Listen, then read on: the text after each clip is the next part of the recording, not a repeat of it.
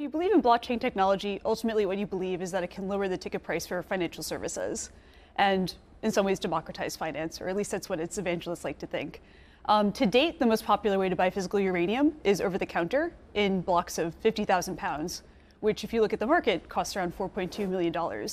Um, what we're doing with uh, uranium.io is trying to reduce the unit size for a purchase so that you can buy an ounce for five bucks instead of having to buy a large OTC block.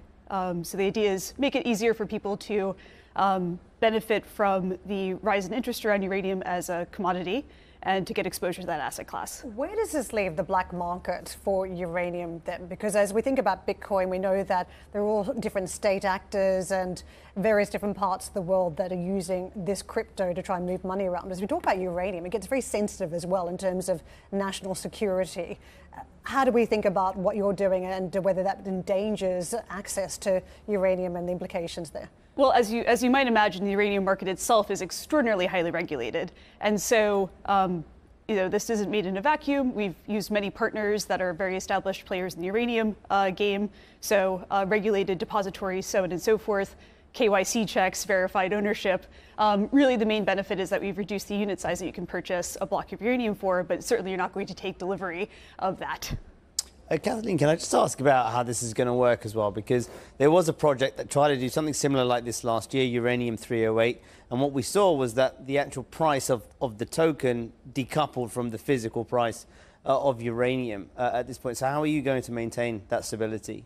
Um, yeah, I think frankly, like we've done everything entirely differently than what they have. So that basically started off as a mining project uh, with a, a, miner of uranium, um, and then like most crypto projects do, it sort of like gave up once the hard parts uh, came to pass, and they sort of just did an NFT project at the end. Um, we've been working with people who've been playing in the Uranium game uh, for a really long time and made it as compliant as, as you know as humanly possible um, to basically run a spot market that um, will hopefully be pegged obviously to the, the prevailing price, uh, but more importantly is, is using best-in-class um, partners who've been in the uranium game for a while. And this idea of, of real world asset tokenization has been spoken about for so many years and it's been quite hyped up. Yeah. We are starting to see signs of that happening, you know, with project like this now. But there was a point where everyone's talking about everything from, from art and real estate to, to obviously commodities as well being put on the blockchain. Is there a little bit more of a sort of realism setting in that perhaps there's not demand for all of that, or, or, is that something that is still yet to come? Well, I think the main there's been two main problems with that thesis. It's either you are there have been projects that have been trying to basically make it easier to buy real assets that were already quite liquid. So, I mean, geez, you can get gold from anywhere. it's not really much of a differentiator. I think, you know, the reason I'm excited about this uranium.io is because it's actually using the blockchain for what it's supposed to be used for, which is basically lowering the ticket price for financial services, um, getting access to something that only institutions and ultra high net worths have been able to get to date, and uh, yeah, lower, lowering the ticket price, making it easier, but also in a regulatory compliant way. Um, so using KYC and, and, all these things at the edges where it needs to be, but not um, transferring the costs over or creating um, inordinate amounts of risk uh, from the fund managers. Kathleen, let me come back to the regulatory side of things, of course. In, in the incoming Trump administration, we still do not know how he is going to look at crypto. We don't know if it's going to want. he's going to want a Trump coin that's going to, or we're going to have a, a, res, a, central reserve of crypto. We just don't know.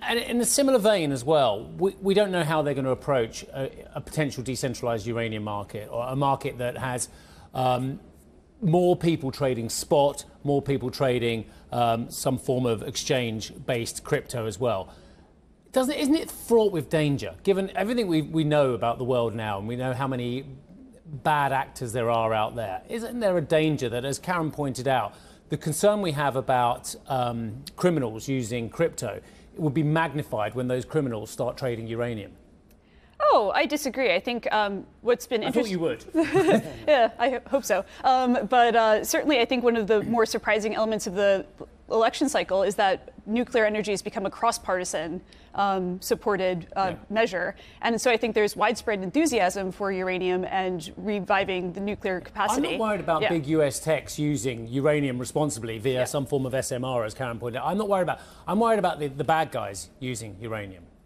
I think we're all very worried about that. Um, but I, this increase their ability to A, remain anonymised, and B, get source if you are talking about both the, the exchange based market and indeed the spot delivery? I think the way that well, there's there's no delivery, um, and so basically what you're doing is there'll be no there'll be no physical market that where, where there's delivery. You have ownership of base. You're a beneficiary to a trust that has physical uranium Yes. when you use this market, Yes. but um, it's a very highly regulated market, and so no, you won't be able to take delivery of the asset. But then what's the use of it for those technology companies if they can't take delivery? um, speculation, um, and certainly if you're, Specula- so, so putting more speculation into the uranium market is a good thing. I think it is. I think it allows more people to come and get exposure of the asset.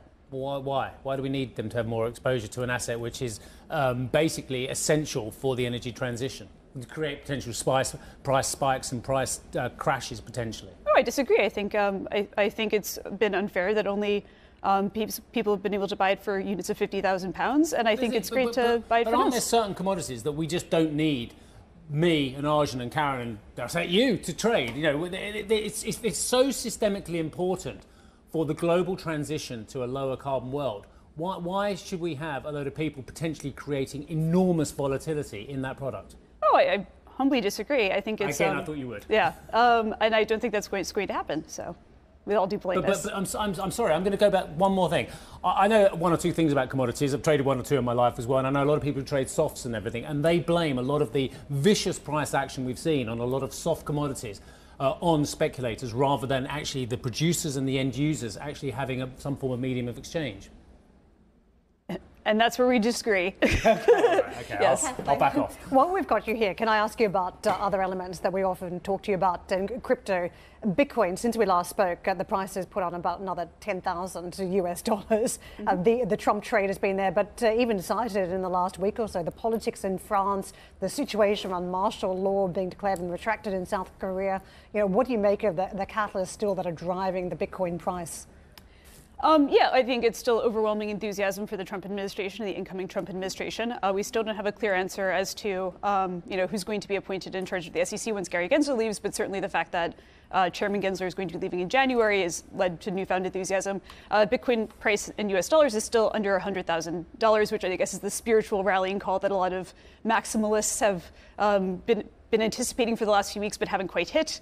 Um, Senator Lummis, in the meantime, has proposed a strategic Bitcoin reserve. So um, there's a lot of notions that the federal government is going to uh, change its tune almost entirely from the Biden administration. Uh, and so, yeah, that's led to continued uh, enthusiasm for Bitcoin, and it's also obviously uh, bled into other alternative cryptocurrencies as a result. There's one thing, the idea of Trump being sort of pro uh, the industry. There's another, him being sort of pro creating a, a good regulatory environment for the industry. Do you think that's actually going to happen? Um, overwhelmingly, yes. All signs point to yes. Uh, I think a lot of uh, the incoming, not just Trump administration, but also the Congress, uh, were basically backed by uh, large PACs uh, that were pro crypto, and so um, I think that led to overwhelmingly, like not just the administration, but the legislative bodies are also going to be probably very pro crypto.